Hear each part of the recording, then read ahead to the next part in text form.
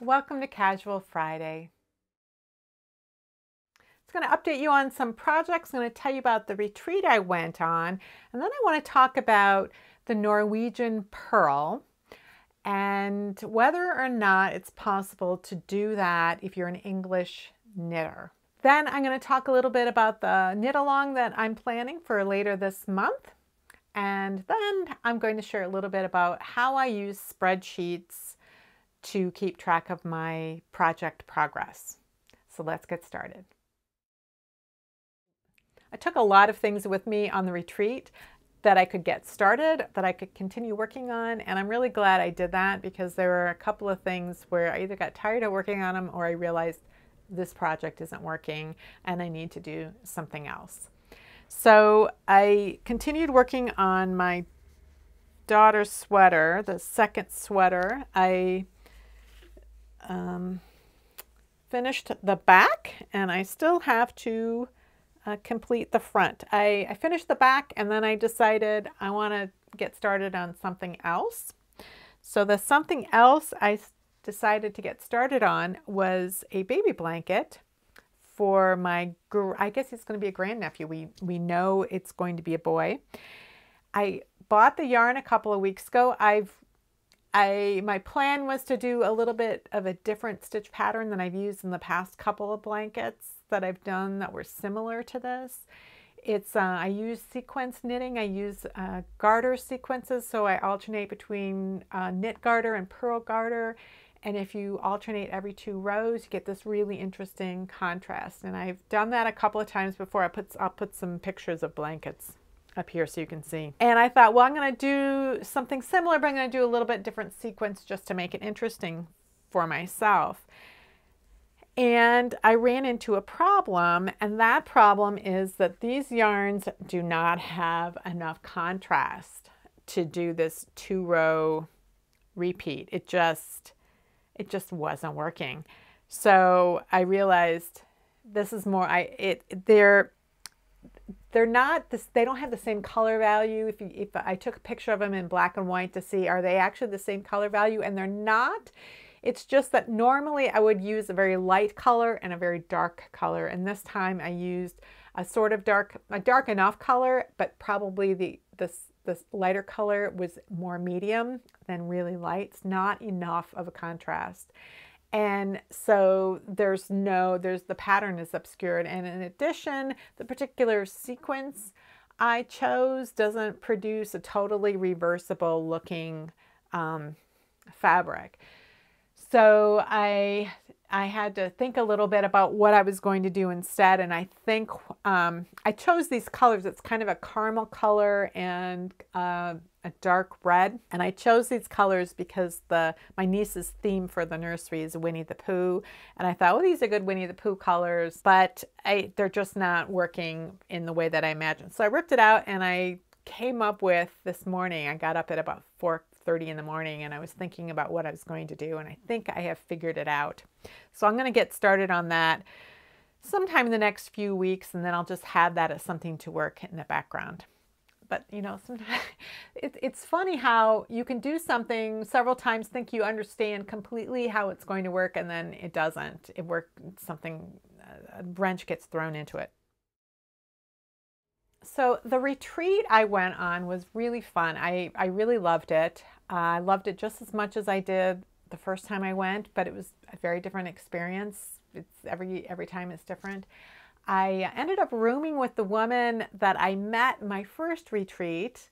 They happened to put us together as roommates. So I was really delighted. She's working on the Master Hand Knitting program and had is also working on the technical editor certification that um, the Knitting Guild Association now has available and I kind of heard about it. I'd seen in the past couple of months somebody on the in the designers group on Ravelry ask what the difference was between TKGA's course and another uh, course that they had seen offered that's offered by an individual person who is a technical editor.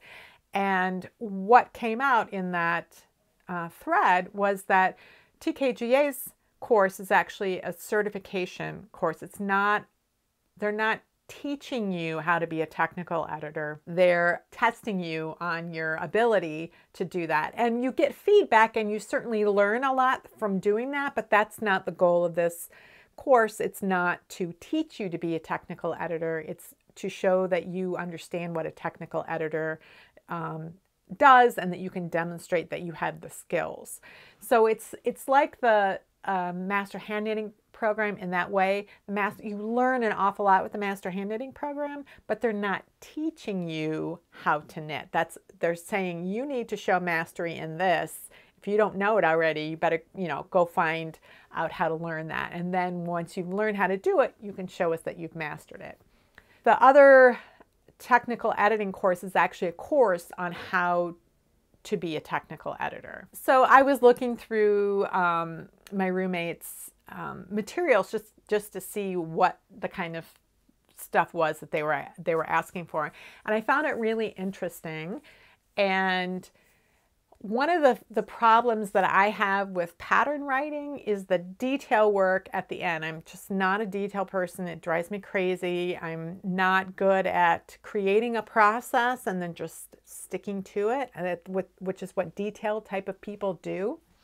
I tend um, to get through projects um, by enthusiasm and just and jumping around a little bit. And so that those final details um, are not interesting to me. It's when I'm not learning, it's when I'm just cleaning up.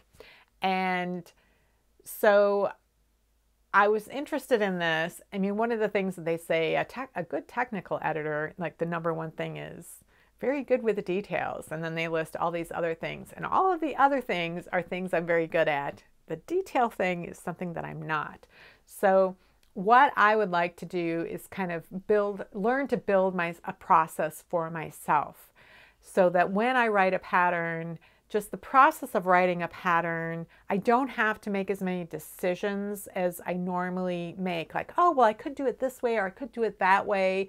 How did I do it last time? That I'll be able to create a style sheet for myself. I'll be able to have a process. I'll know uh, whether or not I'm going to hyphenate the word the words cast on, you know, whatever, whatever the, the thing is that where you have choices in a pattern, then I'm going to be able to set up a style sheet for myself. I, I looked at what the materials were like and I um, decided to send off for them. So I'm hoping that this is really going to improve my ability to produce published patterns rather than just designing things, making them, being happy that my design came out, and then never publishing the pattern. I want to try to break away from that. So we'll see how it goes. So one of the things that's great about this type of retreat is that since there's just a big room full of knitters sitting around, you are talking with the people around you, but you might overhear somebody else talking about a subject that's interesting to you, and, and so you might join in that conversation, or somebody might just announce that they have a question and does anybody know the answer to it?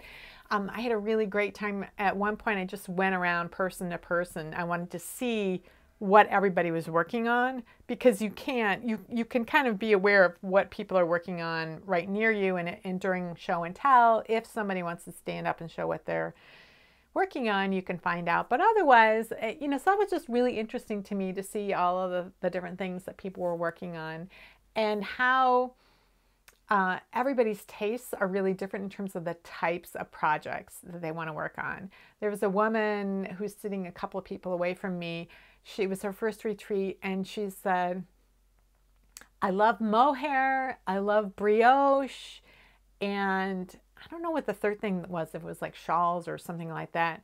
And she showed, she was, had this be- absolutely gorgeous brioche mohair shawl or wrap or whatever it was on. And I remember thinking, I don't like any of those three things. And yet I am just completely impressed with the projects that she was doing. It's just so funny to me that there's like none of those things tick tick the boxes for me at all. And I love that. I love that there's so much for um, for knitters that that everybody gets to choose what they like to do, and there is no right or wrong when it comes to what your choices are so at the end, at the very end of the retreat, we probably, there was probably an hour left before we all had to vacate our cabins and vacate the lodge and, and be on our way back back home. But there was some time we were done with show and tell, and we were just all sitting there knitting. And there was a woman who said, You know, I have a question maybe somebody here could answer. And her question was about the Norwegian purl. She does not enjoy purling and is looking for a way to, to purl that she enjoys.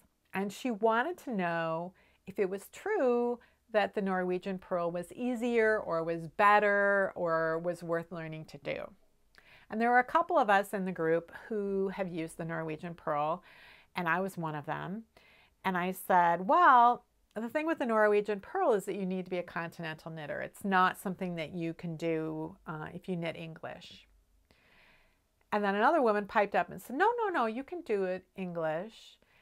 And and I, I think I was a little forceful in my response or a little abrupt or I don't know what I, you know, I've tried to replay in my head what exactly I said and how I said it, but I said, well, you can do it, but you have to move the yarn so many times that it's just not worth the effort. And she kind of, you know, like, I give.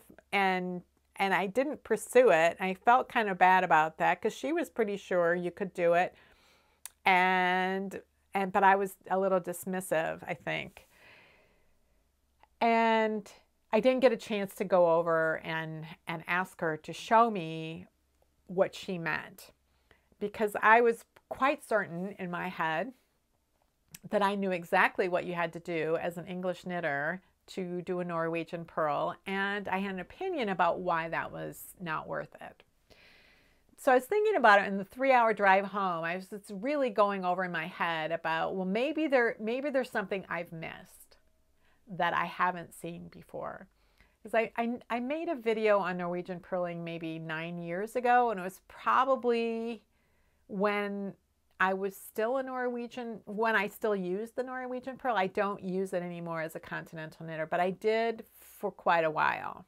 And every once in a while, I get a comment on that video, a question where people want to know, can you do this if you're an English knitter? And I always say no, but I also know that I'm constantly learning and maybe I've missed something. And so I always get out the yarn and needles. And once again, I look and see if I can figure out a way to do it as an English knitter.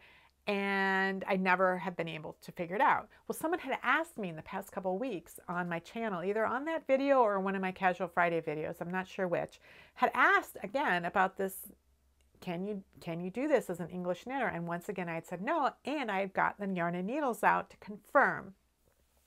And that's when I'm like, well, you could do it. I mean, you could you could make it happen, but it, that was when I was like, this is just not worth it. And that was why I was kind of kind of dismissive to this other other woman, other knitter. And so I and I thought, geez, you know, if she thinks you can do it, maybe there's something I'm missing.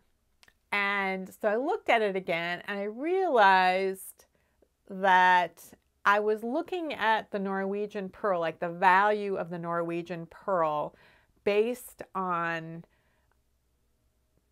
a quality that it has that I desperately needed when I was first learning to knit continental. And that was not only did the yarn stay in the back, but I just, I didn't have to move the yarn at all. So I am very right-handed.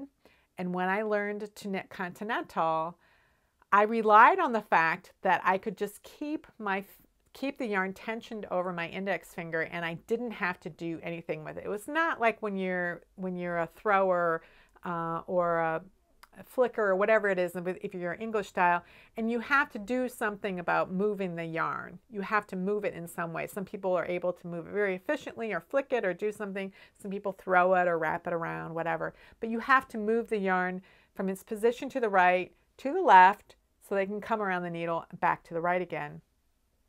But with continental knitting, you can just pick the yarn. The yarn doesn't have to wrap around. Some people wrap it around, but you don't have to. And that was what I liked about the Norwegian purl was that I had no dexterity with my fingers and I didn't need to move my fingers. It was in the same position it was in when I was knitting a stitch. But I was focused on the fact that it was in back. And so I when I was sat down again after the retreat and I thought about if I were an English knitter, why would I be asking for another way to purl? When I was an English knitter, I didn't have any trouble purling. So to me, there was be no advantage to, to doing all this extra maneuvering that you'd have you'd have to do. So I looked at it in a different way and I realized there's probably are some English knitters who have trouble wrapping for the purl. Like it's not the same movement. Like they have trouble making the same movement, however they're holding the needles, whatever they're doing. There's something different about the way they hold the needles and the way I hold the needles when I knit English that makes wrapping that purl really difficult. And that's when I realized the issue isn't that you need to keep the yarn in the back. The issue is wrapping the stitch just like you were knitting. So to do an English version of the Norwegian purl, what you can do, you, you have to move the yarn to the front, but what you can do with the needles allows you to wrap the yarn in the same way that you would if it was a knit stitch. So I'm going to show you um, what I'm talking about. I'm going to get very brief overview of the Norwegian Purl. So if you understand the Norwegian Purl, that part would be easy. If you've never seen the Norwegian Purl, um, you might want to go look at that Norwegian purling video. So let's look at the standard Norwegian Purl. The idea is that the yarn stays behind, that before you insert your needle, the working needle, into the stitch, that the working yarn has to be in front of it. So it, when you work continental um, knitting, this is that's a yarn over. Putting the yarn like that, that's a yarn over. So you have the yarn in front of the needle before you work the first stitch. The yarn is in back, so you have to bring the working needle behind the left needle in order to grab the yarn. And you would grab it just the same way that you would for knitting, but then, and these are very exaggerated motions, then you bring it back to the front so that you can pull the yarn through. Because anytime, however you insert your needle, whether you're inserting it this way or this way or through the back, however you insert the working needle, after you grab the yarn, after you either wrap it or pick or whatever, you have to come out the same way. So if you insert your needle through this way, then after you have the yarn, you have to go back out that way. And if the yarn is in back, that means you have to arrange to get your needle behind here so that you can get the yarn, bring it back to the front so that you can pull it back through. But the, the main things to understand is that the working yarn has to be in front of the working needle before you enter as if to purl. Then you have to grab the yarn and then you have to pull it back through. So if you want to do this,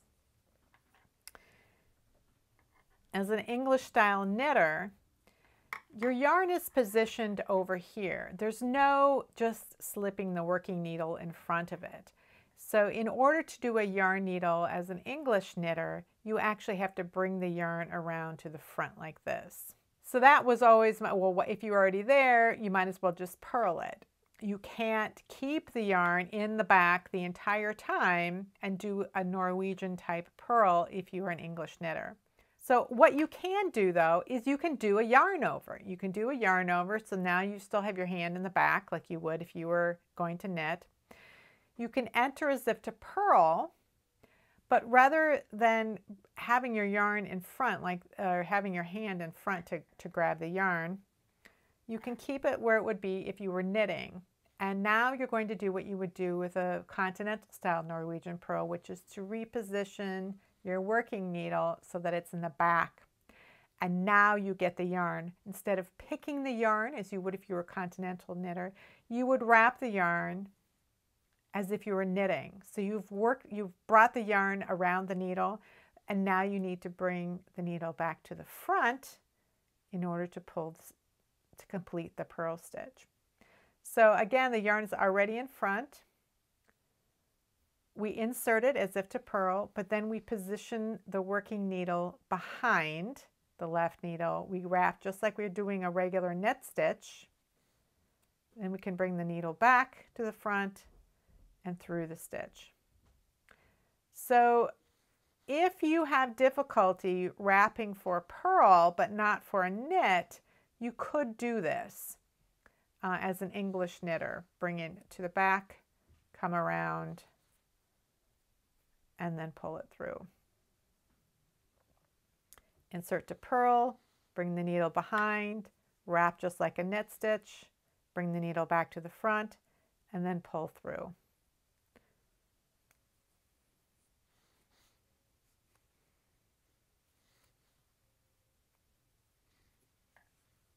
Now that I have a different perspective on the usefulness of this technique for English knitters, I'm wondering if any of you who are English knitters and have trouble purling, is the you know what is what is the the trouble that you're having with purling? Is it keeping the yarn on the needle while you're finishing your purls? Like what is the problem? And would repositioning your working needle in order to wrap or flick or whatever it is you do when you um, get the yarn around the working needle is this English method of Norwegian purling at all appealing to you or at all useful? I'm just really curious.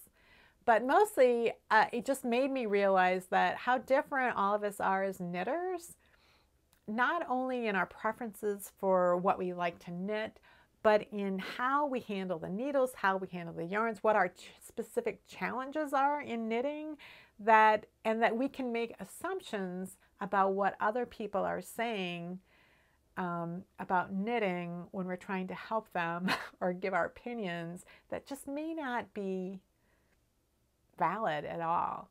So it gave me something to think about. I'm going to try really hard not to dismiss somebody that when I know I'm right.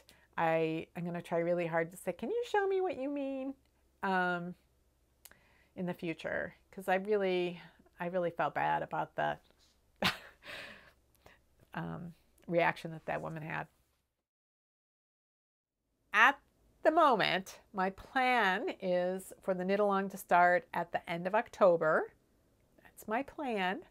I should know more a week from today um, as I finish my samples and I complete my list of what I need to include in the videos because I'm including options for different uh, cast on bind off combinations, uh, how to fix mistakes that are very particular to this particular project, how you can modify this project uh, to serve your own needs in terms of changing around some of the stitch patterns or making it wider or narrower and, and that sort of thing.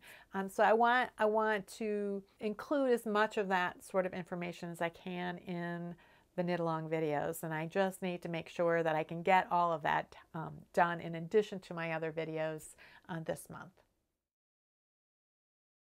So I mentioned many times that when I start a new project, I rechart everything and I also create a spreadsheet to keep track of my progress. And I've had requests a few times, every time I mention this, somebody requests um, that I explain in a little bit more detail what my spreadsheets are like. So I use them in a variety of different ways and the way that I use them has evolved over time. So I'm going to show you, I think it's four different spreadsheets and that show kind of the, the variety of ways that I have used spreadsheets to keep track of my, my progress on a project that you might find useful in one way or another for your own projects. All right, so here is an example of a spreadsheet that I used when I was knitting um, a baby blanket.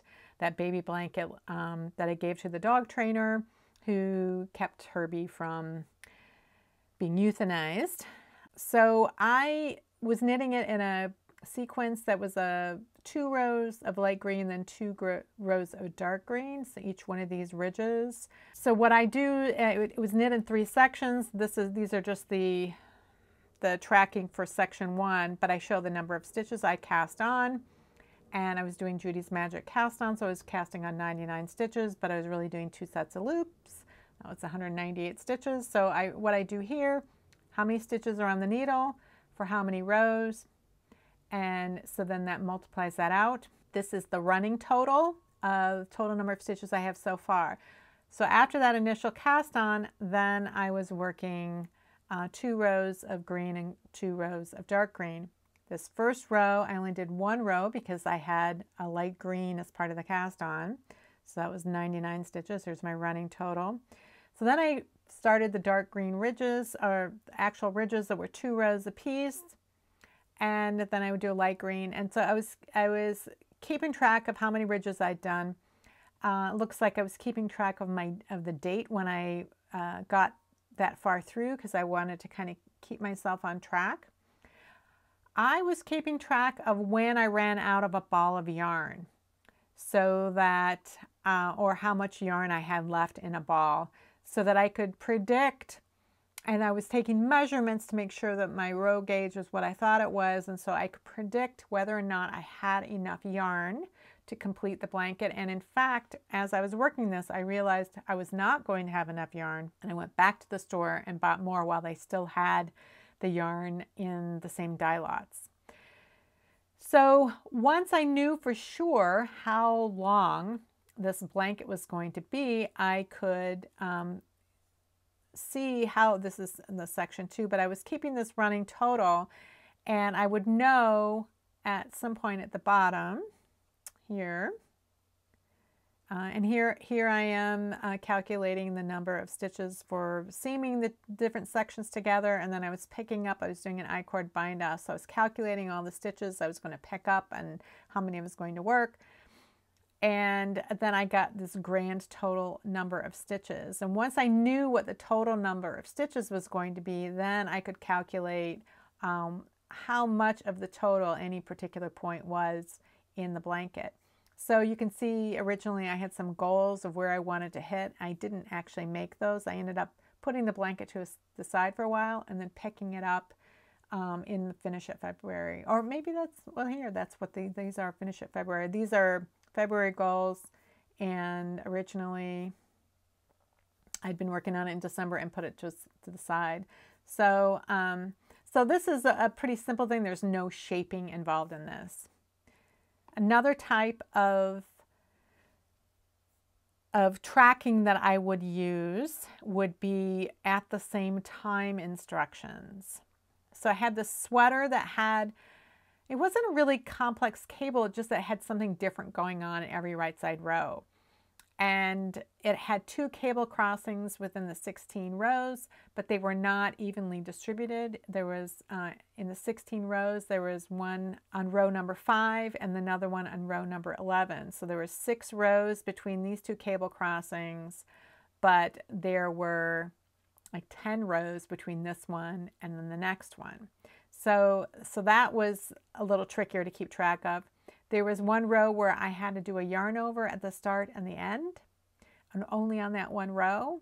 And these are um, denoting that the outline of the cable, I'm going out, out, out, crossing out, but these I'm crossing in, in, in. So there was a lot going on in that. And then I had to deal with things like neck shaping and armhole shaping, which aren't always the same thing. So, so this is the kind of thing where I can say, okay, the first of the neck shaping, I need to do an SSK at the start of the row, and I'm going to do this in my cable. And then the next row, which is the wrong side row, and maybe I have to bind off five stitches for the armhole. So those at the same time instructions can be really helpful when you have um, to map everything out at once. This is a spreadsheet that I used when I was knitting a project from my hand spun. So I, I knew how much it weighed and I kind of knew how much yardage I had. I was working a pattern that had um, four rows in each repeat. And I wasn't completely sure how many repeats I was going to be able to complete in this project. So I periodically weighed my uh, yarn to see how much was left, and then I would calculate how much was remaining, how many stitches I had knit so far, So I knew how many stitches per ounce and then based on what I'd used so far, how many stitches I thought I would be able to knit. So you can see that that changed over time. That at the beginning, it looked like I was only going to be able to knit 4,600 stitches, but then the, the numbers jumped up. And I'm not sure if, if my yarn was thicker at the beginning. I'm not sure exactly what was going on. Um, but after every repeat, I weighed my yarn to see to predict whether or not I'd be able to do another repeat or not. And I also needed to know to, to make sure I had enough for the bind off. So I kept adding and taking out repeats in here, which would change the total um, number percentage wise. Uh, but what I cared about in this instance was whether I was going to have enough yarn, how, how long my yarn was going to last. Here's an example of the sweater that I knit this summer, and then uh, I'm using the same spreadsheet again, but I have different row gauge, so some of the information has changed, but this is the sweater I knit the first time. And I, I went through the entire sweater and based on, on the row gauge that was in the pattern, I originally calculated how many repeats and at what row number I would be working things like the underarm bind offs and things like that. But as I worked and I saw that my row gauge was different, over here I recalculated certain things, including things like the sleeve. So my um, decrease rates for the sleeve was different than what was in the pattern um, because I knew that the row gauge was different and I would end up finishing all my decreases many, many inches prior to the, to the wrist if I um, didn't space them out more. So I went through here and I've got the entire sweater charted out.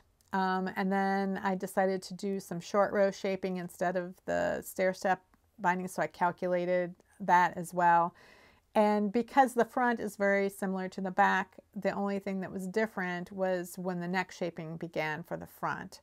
Um, so a lot of it was repetitive and I and then I had a record from the from doing um, the back, I had a record of how many rows I actually ended up doing at each specific spot so I could make sure that I worked that same number of rows on the front before I started doing shaping. And again, so this is, you know, how many stitches I have on the needle, how many rows I'm working that many, um, with that many stitches, and it multiplies out the stitches by the row.